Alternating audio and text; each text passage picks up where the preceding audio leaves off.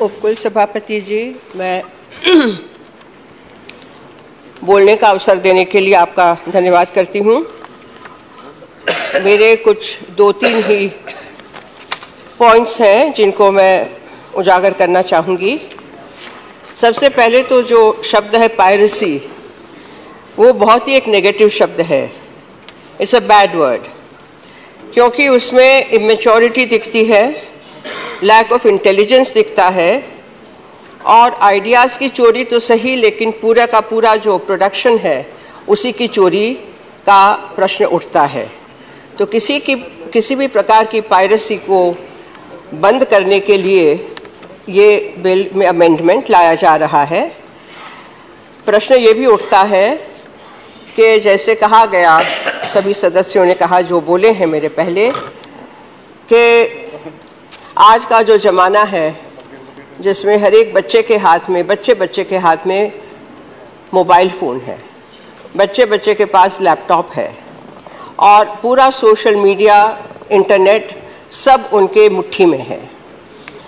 ऐसी परिस्थिति में कैसे और कहाँ कहाँ इसको रोक सकेंगे ऐसे अमेंडमेंट के द्वारा, ये एक प्रश्न मेरे मन में उठता है और उसका निराकरण भी कहीं यदि मंत्री जी, माननीय मंत्री जी करें तो अच्छा होगा।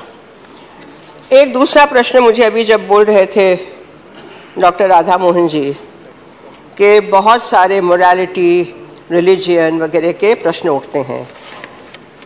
मैं चाहती हूँ कि ऐसे जो शब्द हैं which are the key words like morality उसका कोई डेफिनेशन दिया जाए।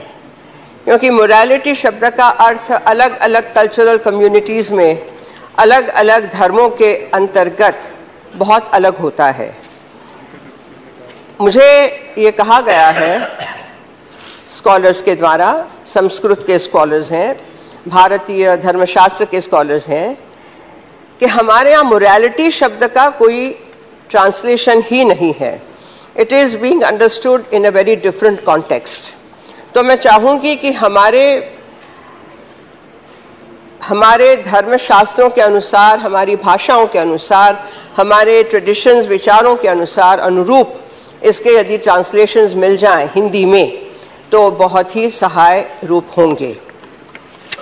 मैंने बचपन से कुछ फ़िल्में देखी, मैं बहुत ज़्यादा फ़िल्म तो नहीं देख पाती हूँ, मेरा अपना काम मुझे इतना मसरूफ़ रखता है लेकिन मुझे याद है कि जेल रिफॉर्म्स के लिए वी शांताराम की दो बिघा ज़मीन। अद्भुत अद्भुत फ़िल्म थी। मदर इंडिया, जो नारी शक्ति का आज हम बात कर रहे हैं सशक्तिकरण, उसके लिए उससे बढ़िया फ़िल्म मैं नहीं सोचती हूँ कि आज तक शायद बनी हो। नृत्य, संगीत, हमारी जो कलाएँ हैं, हमारी धरोहर हैं, जीवंत धरोहर हैं झनक झनक पायल बाजे और ऐसी कुछ फ़िल्में हमारे सामने हैं या थी।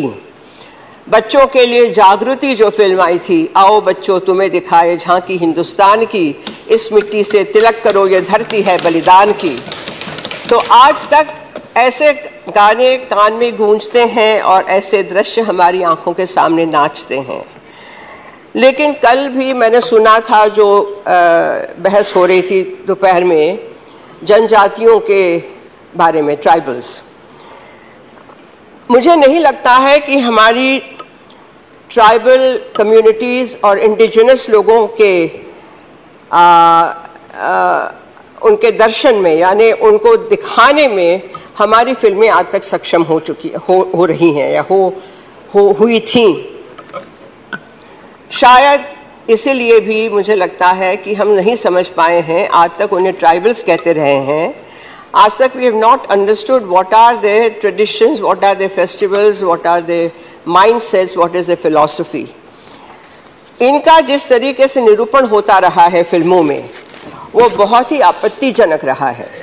उनको हमेशा ऐसी अवस्था में दिखाया जाता है कि जी जी जी, मुझे एक तीस सेकंड ऐसे दिखाया जाता है कि they are to be use and thrown away मैं चाहूँगी कि इस पर भी थोड़ा विचार हो कि जब आप सर्टिफिकेशन दे रहे हैं या इसकी प्रावधान कर रहे हैं तो ऐसी फ़िल्म या ऐसी कंटेंट के बारे में भी जा, जागृति रूप से सोचा जाए जागृत रूप से सोचा जाए एंड ये जो सात वर्ष दस वर्ष तेरह वर्ष ये अलग अलग जो है उसका कोई मुझे मतलब नहीं समझ में आता, क्योंकि जैसे मैंने कहा कि सबके पास मोबाइल होते हैं। वो कहाँ तक आप रोक लगा सकेंगे? ये बात सोचने की है। बाकी मैं बिल का समर्थन करती हूँ। धन्यवाद।